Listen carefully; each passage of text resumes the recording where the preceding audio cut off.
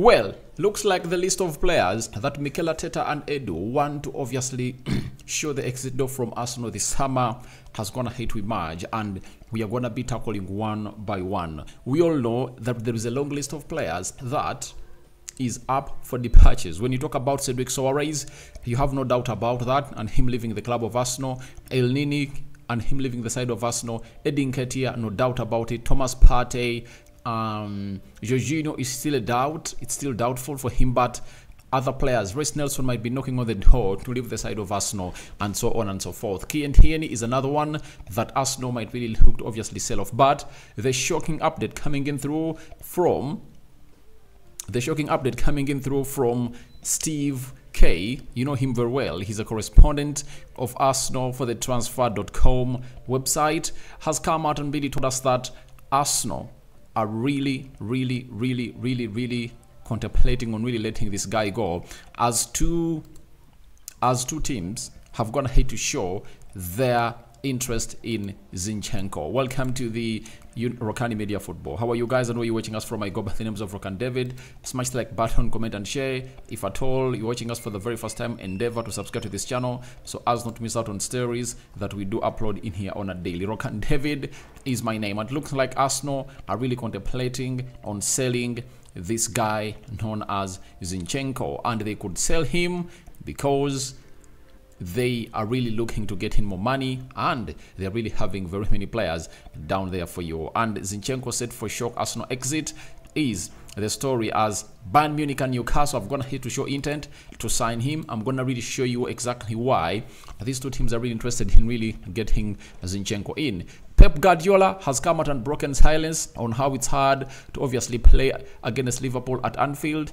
and Erling Haaland is Norwegian friend who is not Erling so who is not Martin Odegaard has come out and really spoken how they spend lots of times together when they meet up in the UK. So let's see close to 400 likes marking this video. Don't forget to subscribe to this channel so as not to miss out on stories that we do upload in here on a daily. Now, it's a what? It's a Saturday, third video of the day coming in through and we are gonna be having more and more and more videos coming in through into the mix here. Now, the Muslims, I can say Ramadan Mubarak, and for the Christians, we cover you in the precious blood of Jesus Christ. And let's start it as it is right about now, as things really go on as known planned. We start off with Steve K breaking the story that Newcastle and Bayern Munich are keen on Alexander Zinchenko, with Arsenal setting an asking price of 45 million, 45 million euros for the left back. For the Bundesliga giants, the Ukrainian international has become one of the players high the list to replace Alfonso Alphonso Davies, who looks destined to leave in the summer for Real Madrid. Now, let's talk about Zinchenko in particular. You know, last season he was really pivotal to the side of Arsenal, but he was really vulnerable. And he's one of those players that really saw Arsenal get off that trophy.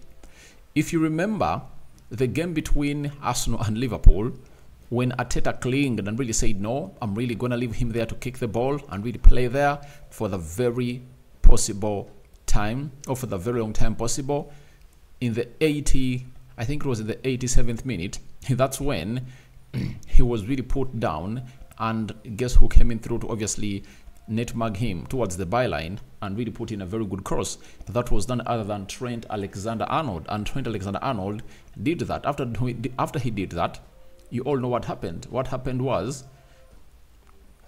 Arsenal went ahead to really concede an equalizer. But Arteta had already gone ahead to smell blood that something was going to happen from that side or left back position because around the 65th minute, he had really told Kieran Tierney to take off the jacket and really get onto the touchline to get into the game. But he sat him down. so that shows you how bad defensively this guy is. He's really deficient, you know. Going forward is really good, but he doesn't have that intensity and the energy to obviously close down the side of Arsenal. And this season also, he costed you a goal against Liverpool. You never know. Arsenal would have gone ahead to win that game because the goal that Mohamed Salah scores, it's because Zinchenko goes ahead to make it easy for um, for Mohamed Salah to invert, you know, inside of the pitch and really goes onto his strong left foot and then hits that ball past the near post and David Raya couldn't obviously come in through to stop it. So if I start telling you how Zinchenko is really vulnerable defensively, I think you can all agree with me. And if you're to talk about the best left backs in the Premier League, trust me, he's not among those because there are very many that have gone here to balance the two defensively and offensively. Because if Zinchenko was good offensively then he would have been one of the players with very many assists in the league. Let me show you how many assists he had last season. Because I'm a man of facts. I speak with facts and I want to come in here and get challenged if you think you really have more facts that can really downgrade this. Last season in the Premier League, he played 27 games and created two assists. You get? Um, this season, he has played 22 games and he has two assists. Now, if you talk about elite, the elite, uh, the elite fullbacks in the Premier League, you know, they are really having better assists. Let me show you Benjamin White, a player I don't rate hugely as far as going forward is concerned and really being offensive elite. Last season he had four assists more than Zinchenko. Sorry, last season he had five assists more than Zinchenko. And this season is having four with 11 games to go. Sorry, with 10 games to go for the club of Arsenal. So it shows you that Zinchenko is really doing, is really doing bad because if I take him to the elite list, you know, people like Trent Alexander-Arnold, right? Let me talk about the left backs, the Ben Chilwells, Luke Shaw, um, Robertson, Nathan Ake, uh, this other guy that plays for Aston Villa. Is he called Moreno? Mm, and other left backs, you know, Estupiñán who plays for Estupiñán who plays for Brighton. You know, all those are elite left backs that have gone ahead to put in assists. And Zinchenko only gives you one thing, like inverting the midfield and obviously going ahead to do the needful. But if you're talking about left backs in the Premier League, I don't think that you can really rank him anywhere he's good. He's technically gifted, and I'm gonna let you know what I think Arteta should do with him in what he's planning. And the other deficiency that is gonna hit to affect Zinchenko is that he's not a physical player. The game of football has shifted from being talented to being a physical player, and that's why you see to it that Jakub Kiwior has gone ahead to come in through and taken that slot over Zinchenko. And Zinchenko returned when Arsenal was playing against Brentford and he never really got into the starting 11 as compared to last season. Last season, the moment Zinchenko got onto, uh, got onto the grass from the sick bay, Arteta ushered him into the team of Arsenal immediately. But Kiwior has gone ahead to show that he's really good and solid and he has gone ahead to put in performances. I think he has like three goal contributions, you know, in the games gone ahead to hit to play. I think I was gonna ahead to play like seven games, of which I was gonna hit to start six consecutive games in there for you. And he, he showed you that he trusts him more than Zinchenko because he let him play 105 minutes. Zinchenko only played 15 minutes of the second of the second half of the extra time. And Arteta has gone ahead to really show us that Zinchenko is not really trusted. And the other reason as to why I think this is valid, it's because Arteta has gone to see Tomiyasu return and Julian Timber. If there is a player that Mikel Arteta is not willing to shift his position, it's Benjamin White. Benjamin White has gone ahead to obviously seal that position of the right back of Arsenal, and Mikel Arteta loves him die. That is it. Mikel Arteta loves him die. So that means on the left back position, he's really having four players competing for that. Julian Timber, Zinchenko, Jakub Kiwior, and uh, Tomiyasu. The only reason that would have gone ahead to see Zinchenko play onto the left back position is that he's left footed. But right now, there is a new boy in town who is left footed and does almost everything better than Zinchenko. That is Jakub Kiwior. You know, he's just 21 years of age. he's a press resistant player. He has gone ahead to put in shifts left, right, and center that everyone really admits. So I think Zinchenko right now, when you're to rank the hierarchy of the left backs of Arsenal, he is the last. He's ranked last. I think Julian Timber will be the first left back choice. Jakub Kiwior, Tomiyasu, and Zinchenko. So this all leaves Zinchenko in a position of him being sold by Arsenal. And with the interest that is coming in through from Bayern Munich, as Steve Kerr's going to let us know, because Bayern Munich might lose their left back, or they're going to lose him to Real Madrid because he's left with one, one year on his contract. He has refused, obviously, put pen to paper. Now the proposed contract coming in from Bayern Munich, and if I told Bayern Munich, don't sell him this summer, he might leave out on a free, and they can get like 50 million euros from the player. So Bayern Munich is looking at Zinchenko to obviously bring him in at the side of the Allianz Arena to play that side. And remember, Bayern Munich is going to be playing the side of Arsenal. So Zinchenko is going to take the test of Bayern Munich, and maybe Bayern Munich might use that time when he comes to Germany to obviously try to convince him that this is the best place to be. And it has, it has been done by fans. If I told the fans here that the board wants to sign you, those fans can really chant your name and really hail you with lots of praises for you to come in through and really get to know and fall in love with the side of Bayern Munich. So Bayern Munich is one of those teams that are interested in this player because they know uh, uh, Alonso, Alphonso Davies is really leaving and maybe they can go in for Zinchenko to get in that experience as a player in there for you. That is Zinchenko. Now, 50 million euros is what Bayern Munich want from Alfonso Alves and they'll take off 40 to sign Zinchenko. So we are left with some two and a half months to enter what we call the summer transfer window, and we don't know how this is really gonna really orchestrate out. But the only way this boy cannot leave the side of Arsenal is if at all Mikel Arteta decides to play him in the midfield, like to add him to to add him to Declan Rice and um, to add him to Declan Rice and um, to add him to Declan Rice and Odegaard. Right? Into that midfield then he tries not to even even not to even sign what we call a center forward and let Kai Havertz lead the line for Arsenal to compete with Gabriel Jesus. That's the only way I see Zinchenko really staying at the side of Arsenal. But if if Zinchenko really wants to get ample playing time at the side of Arsenal he needs to really get he really he really he really needs a miracle. And Arteta needs to come up with a system that can get Zinchenko a lot of playing minutes. Because even if it's to really do what we call a rotation, the hierarchy of rotation is really not in favor of Zinchenko. You know, if Julian Timber takes over, don't tell me that Zinchenko will start ahead of Jakub Kiwior because Jakub Kiwior has shown us that he's really good, and I, I, I bet Jakub Kiwior is going to be the left back when Arsenal is playing Man City. that is it. So we wait and see how that pans out. But Zinchenko's calamitous defensive deficiency has gone ahead to lead to this story. It's not only Bayern Munich that is interested in Zinchenko, but also Newcastle. And why is Newcastle interested in him? While at Newcastle, we are told that Eddie Howe is looking to strengthen his defense, especially on the left hand side. The club are playing Dan Burn as the first choice left back with mixed success this season.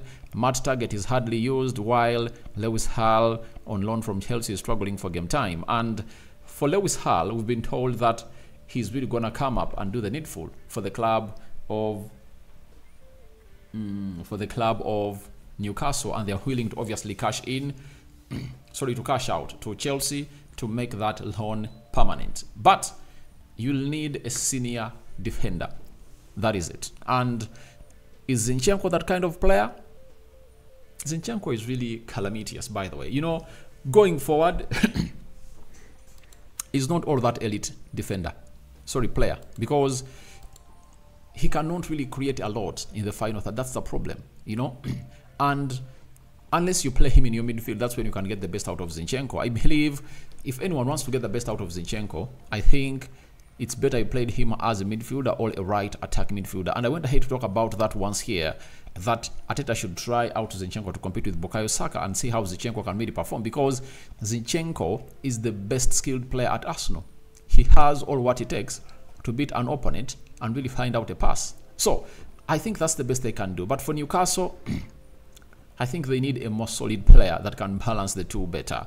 You know, maybe a Kieran Tierney in that mix. And the other reason as to why I think Arsenal might be contemplating on selling this guy, it's because of his injury record. When you look at the season that started in 2023, um, he has been out with he has been out for a very long time with what we call a calf injury you know so almost three four times zinchenko has been out because of the calf injury and uh, you have to understand how stuff really happens in such moments so for me